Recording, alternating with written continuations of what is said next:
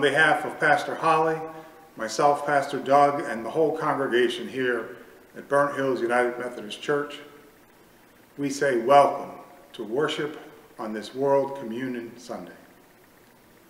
While we cannot share communion with you online, we will be doing that, sharing communion, in our in-person service this morning. The concept for World Communion Day actually began back in 1933 at the Shadyside Presbyterian Church in Pittsburgh. Reverend Hugh Kerr and his congregation wanted to demonstrate the interconnectedness of Christian churches regardless of their denomination. And they chose the sacrament of Holy Communion as a way to symbolize that unity now, when Shadyside first started it, they were alone, but they spread the word and encouraged their neighbors to join them. And then in 1940, the Federal Council of Churches of Christ in America, which includes both today's and the predecessor of today's many denominations, adopted the worldwide Communion Sunday, and the concept really started to spread.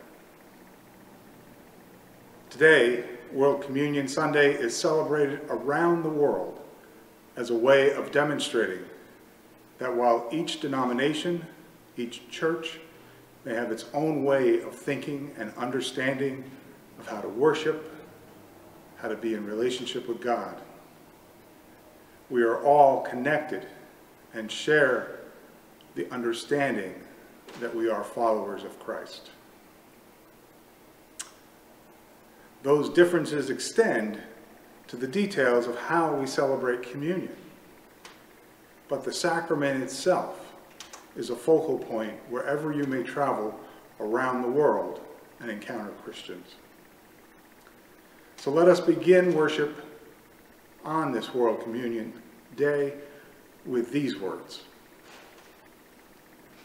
On this World Communion Day, we recognize we are part of the Church Universal faithful people of every color, gender, class, orientation, age, ability, and origin gathered to love and serve God. We seek to be an open and welcoming church, seeking to worship God and rejoicing in the good news of Christ. There is a place in God's heart, indeed at Christ's table, for each and every person who wishes to come. Christ who gathers us bids us follow in ways of love and justice. May our hearts be open to Christ's leading in our worship and in our living, today and every day. And let us join in our opening hymn this morning, I Come with joy.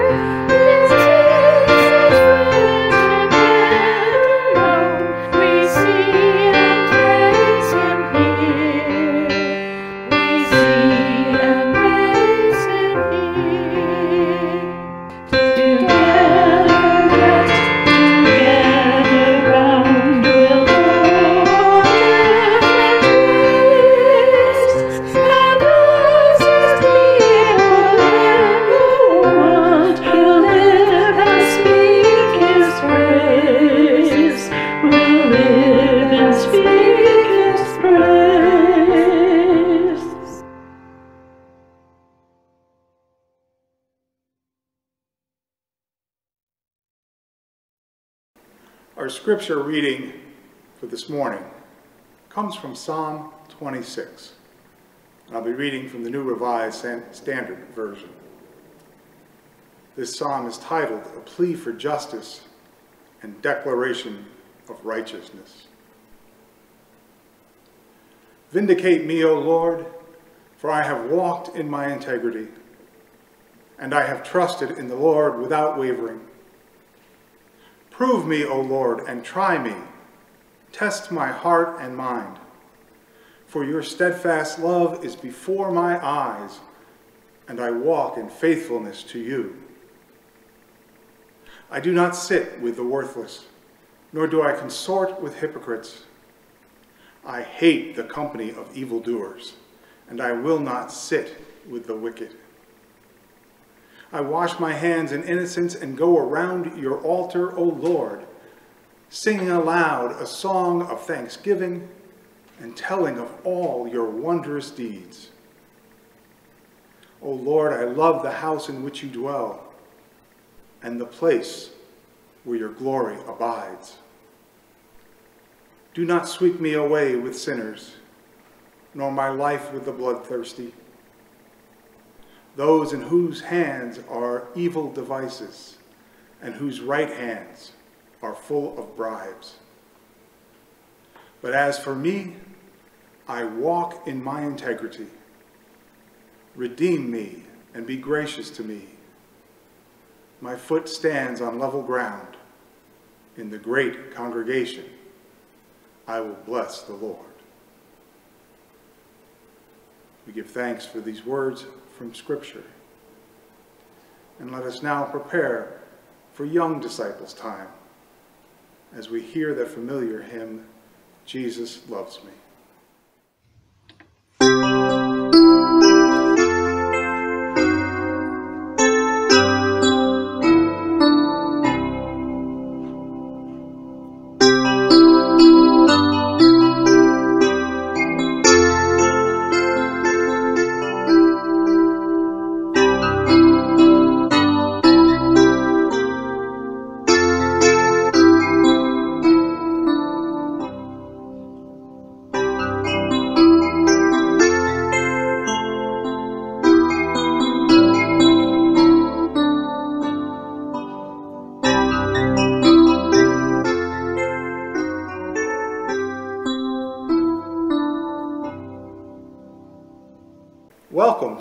Disciples Time. I'm so glad that you have chosen to be with us today. We actually hope to see you in Sunday school as that started up two weeks ago, and we're already having lots of fun there. Today, I want to talk to you young folks about that word that's already been used today, communion. And you might remember it if you've ever been to church. That's when mom and dad and maybe you have a chance to get up, walk to the front, and get that little cup of juice and a little piece of bread. Now, you probably don't know what that's all about, but I hope you enjoy it. But today, I wanted to talk a little bit about what those things are. So, if you are old enough to remember, we often use what's called a chalice. It's a special type of cup. And as you come forward, the grape juice, which is what we use, is in the chalice. And we also use bread. It could be a big loaf of bread, it could be pita bread, just bread of some kind. And that's really important because in the story of the Bible, there's a place where Jesus goes to what's called the Last Supper. It's the last time he shares a meal with his followers. And there he goes through this process of he takes the bread and he breaks it. He says a prayer over it to God, gives thanks for the food they're about to eat. And then he shares the bread. He passes it around to all the others that are with him, asking them to take a piece of it. And he says to them, Think about this bread as representing my body. It's not really my body, but just think of it as something that represents that. So that we are all sharing together in Jesus. And after dinner, he lifts up the cup and he says a prayer again to God, giving thanks for the wine or the juice that they're about to drink. And then he passes the cup around. And he says again to everybody there, share this. Think of it as part of me that is given to help you. Now, there's a lot more to it than that, but that's the part I wanted you to, to take away today that when we do that kind of communion, the bread and the juice that's in the cup are supposed to be representing Jesus himself and the things that he did for our lives.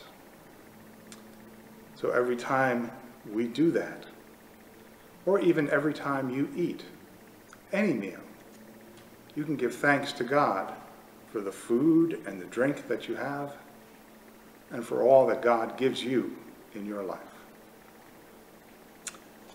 Let us pray for a moment. Loving God, we give you thanks for the food in our lives, for the people that we share it with, and for your Son, Jesus, who brought so much to this world. May we always remember and give thanks. Amen. And now let us join in our next hymn this morning.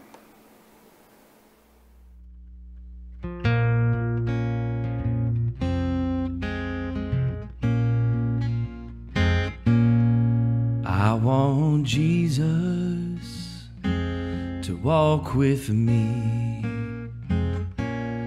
I want Jesus walk with me all along this pilgrim's journey. I want Jesus to walk with me when I'm in trouble. Walk with me when I'm in trouble. Walk with me when my heart is almost breaking. I want Jesus to walk with me. Well, in my trials, walk with me. Well, in my trials, walk with me. When my head is bowed in sorrow, I want Jesus to walk with me. Walk with me. Come a walking with me. Come a walking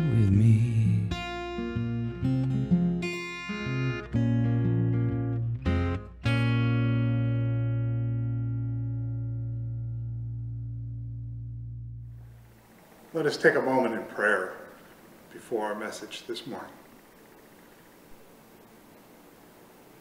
Gracious God, we do give thanks for all that you have given our lives, for Jesus, for our families, and for the words of Scripture that can guide us, that can be places to find comfort, that can be words that challenge us. Open our hearts to your Spirit and let it guide us whenever we open the book and read. Amen.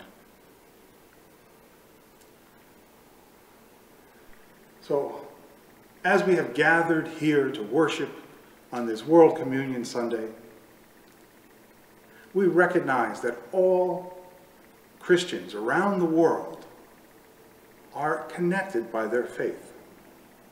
Whether they are Eastern Orthodox or Coptic, whether they are Methodist or Presbyterian, whether they are Catholic or something you may never even have heard of. If they say they are Christians and follow Christ, we are connected. And that's true even as we sometimes struggle to understand how so many different views of Christ can be compatible. Honestly, there are times when we might find it hard to believe that some variations of faith actually reflect the same God and Christ that we understand at all, because they seem so different. With that in mind, we are called to understand that not only all Christians, but all people on earth are children of God, regardless of their faith, of how they understand God, of how they worship. If you believe in one God, you believe we are all children of that God. So all of that was on my mind as I pray for guidance on what message to share this week. And I must confess, it's not often that I will choose a psalm as the passage to focus on. Psalms are usually, Oh God, forgive us for what we've done. Oh God, we follow you without doubt. Oh God, we lament that something horrible has happened. And there's other variations on it, but those are kind of the main themes. And I tend to look more to the gospel for messages. And even this week, as I read through the scriptures for the first time, those that are assigned by the lectionary, this particular psalm, 26, did not catch my attention as something to look more deeply at. In the New Revised Standard Version, the psalm is titled a plea for justice and a declaration of righteousness. And now it's important to remember that those subtitles are not part of the original scripture. They are actually created by the translators of the Bible to help folks kind of understand, give them an idea of what it's talking about. But they do that. They had me thinking, okay, this is just another passage about righteousness. So at first reading, that's what I took away from this. It's another psalm where we're seeking God's favor, and the author is claiming that they were seeking to live a good and righteous life, just like so many of the psalms do. So I set it aside. And that's part of my typical process for developing a message. I take a quick first look at the assigned readings and see if any of them jump out at me with something that says, this needs to be looked at more deeply. And then I go back to do that and I read whatever has jumped out at me a second, a third, a fourth time, listening for where the Spirit may guide me.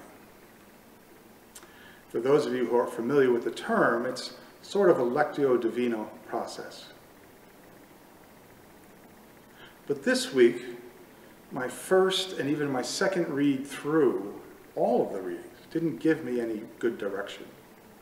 So I think it was probably on my third time going through the readings again that I was interrupted by something as I began to read Psalm 26. I forget if it was a phone call or someone coming into the office, but something made me put the writing down and divert my attention. And when I came back to it, I tried to pick up right where I had left off at verses 4 and 5. And that is where I suddenly saw the passage in a very different light.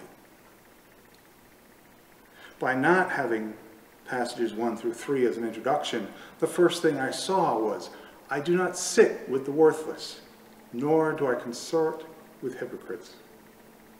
I hate the company of evildoers, and I will not sit with the wicked. Hmm. In their fuller context, it's easy to see that these are statements of a person telling God, I stay out of trouble. I avoid temptation and I seek to live a good life. But seeing them on their own, they struck me differently.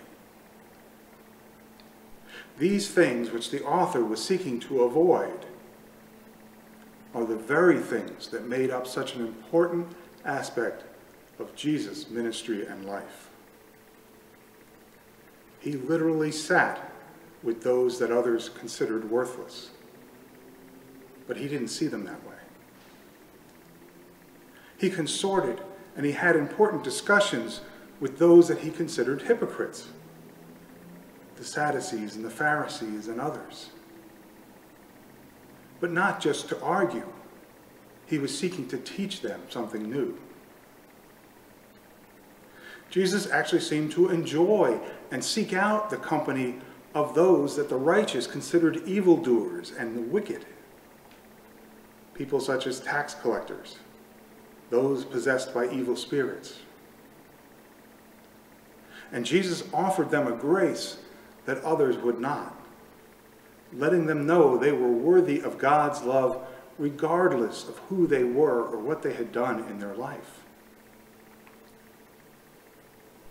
We know that Jesus lived a countercultural life, doing many things that challenged the religious leaders of his time, and often bringing them into conflict with himself.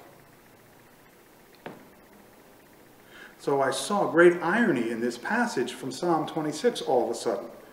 At the same time as fully understanding the intent of its author, trying to say, God, I'm going to live a good life. I'm going to avoid these temptations and these things that might make me stumble. It's a song to God declaring that one is seeking to turn from evil, wickedness, and temptation. All those things that the people of Israel had been taught to avoid for so long. And yet, as I read it, I realize that at the same time it seems to assign blame for those things, the evil and the wickedness and the hypocrisy, to the others who are involved in them. The passage doesn't say, God, I will not be a hypocrite. I will not be evil. It says, I will not sit with hypocrites. I hate the company of evildoers. But the person is not saying, God, I will not do those things. Now, that may be semantics, it may be the poetry, it may be there's more in the Hebrew that I don't understand that, that changes the meaning, but reading that English translation and starting with that passage, uh, verse 4, suddenly that's what jumped out to me about this passage. The message that I get from Christ is one that recognizes that the challenges of hypocrisy are all around us. A message that calls us to be aware of them, yes, but to do something to address them also. Not simply put the blame on others and say, well, I won't sit with them and then I'll be okay. Jesus changed the equation by actively seeking to change the world not just working to avoid the unsavory parts, but by engaging them and saying to them, I have something different for you. I find a lesson for all of us in that, and I pray that I seek to follow Jesus' lead in my life. To actively engage and seek to transform the world, not to simply avoid people who are perhaps the ones in greatest need of transformation.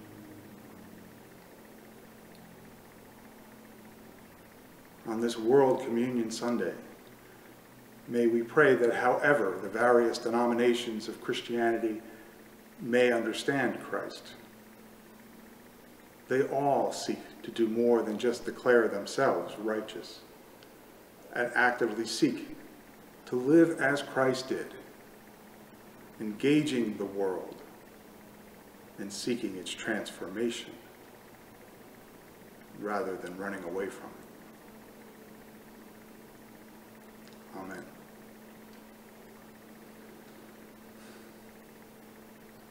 Let us take a moment to prepare for our prayer time as we hear the prayer song this morning, In God Alone.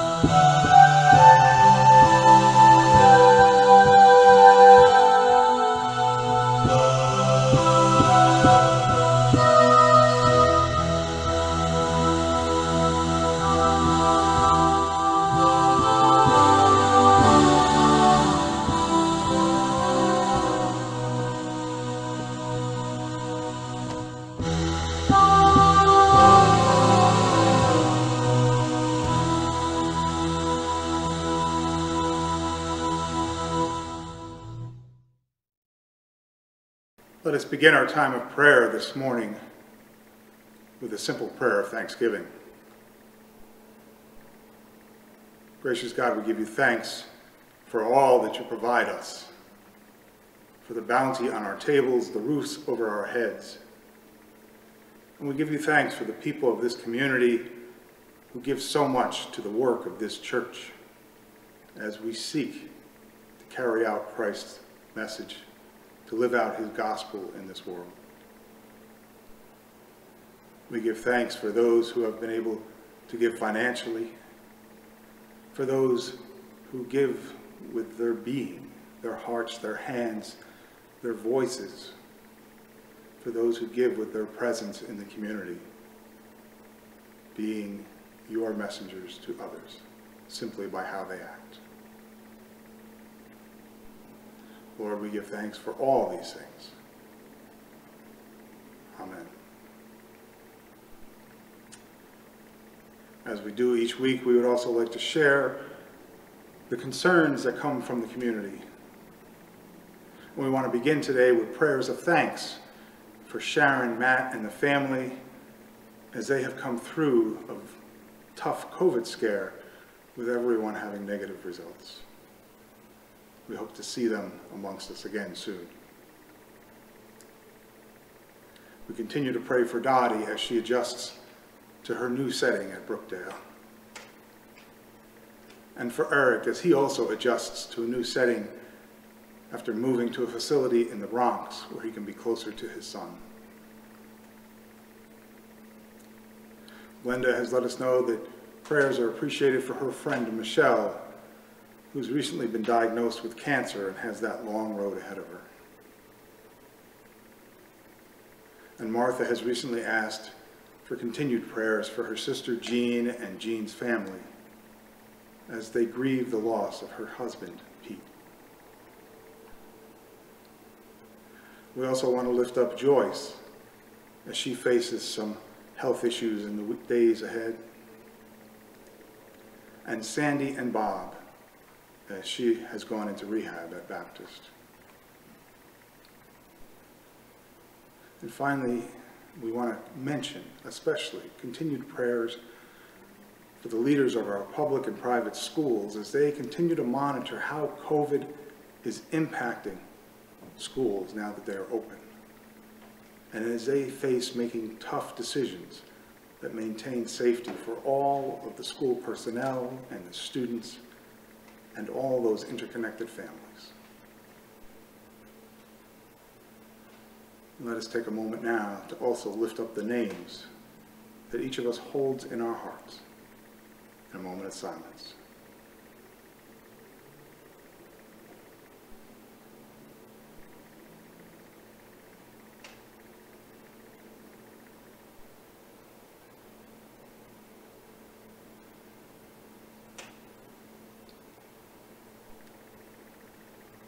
Great God of love, we lift up those we have named this morning, recognizing that you are already fully aware of each of them. Yet we add our voices of concern, of joy, of pleading, that they find what they need in the days ahead. Lord, we also ask you on this day of World Communion to instill our faith, to guide us as we seek to be your hands and feet on this world, as we seek to live with each other, to support each other, not just those in our church, but so many others in the community and around the world who are sharing similar prayers today. Sometimes we have a tendency to self-focus, to talk about those that we know, and lose track of the interconnectedness of all of your children. On a day like this, we strive to be more aware of that to be aware that not only are people in churches around the world today, but people across every nation turn to their leaders and say, what can you do to serve us? What can you do to make our lives better? And we pray that those leaders focus on that joint welfare as well. God of love and hope, fill our lives with both of those. Lift us up when we feel down. Let us sense you are with us when we feel lonely. And help us to follow the gospel of Christ that provides hope, sight for the blind, freedom for those who have been jailed. Help us to know that your world is a good one and that the troubles we face each day can be overcome if only we think of each other.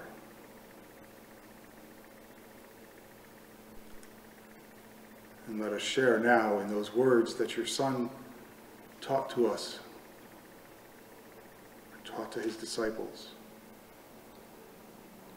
Our Father, who art in heaven, hallowed be thy name. Thy kingdom come, thy will be done, on earth as it is in heaven. Give us this day our daily bread, and forgive us our trespasses, as we forgive those who trespass against us. And lead us not into temptation, but deliver us from evil. For thine is the kingdom, and the power and the glory forever. Amen. With these thoughts of world communion and your saving grace in our minds, I invite everyone to join now in the closing hymn, one that should be familiar to many people, Amazing Grace. We'll be singing verses 1 through 4.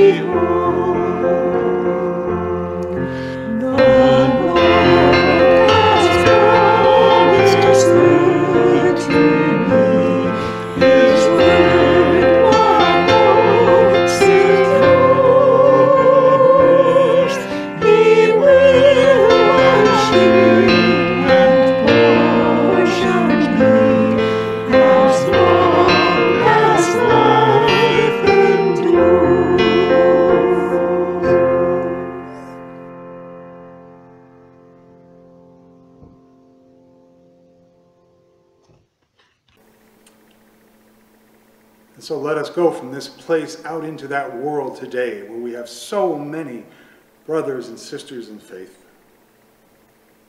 Those that we agree with, those that we wonder about, those who may challenge us as we all seek to follow Christ. May we go seeking to live out that gospel that Jesus gave us, that good news. May we go with our hearts open to the Holy Spirit, inviting it to guide us. And may we go, knowing that as your children, each person in this world is deserving of your love and ours. Amen.